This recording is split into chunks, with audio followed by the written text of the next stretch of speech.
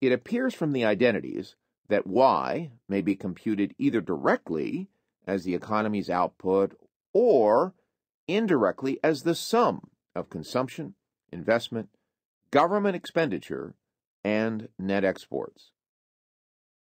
Alternatively, Y may also be computed from statistical data on incomes, or from statistics on consumption, saving, and taxes. In practice, most national accounts take an output approach and compute Y as the value of an economy's output of final goods and services during a period of time.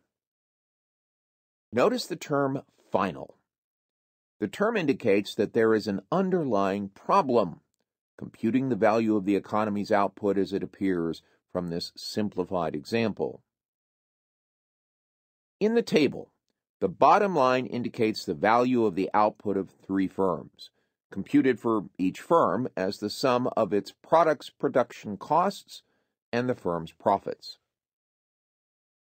However, since the value of output of firm number 1 of 120 enters into the production costs and the value of the output of firm number 2, and since the value of output of firm number 2 of 420 enters into the production costs and value of output of firm number 3, adding the values to get the total value of output of this three firm economy, you triple count firm number 1's output of 120 and double count the output of firm number 2 of 420.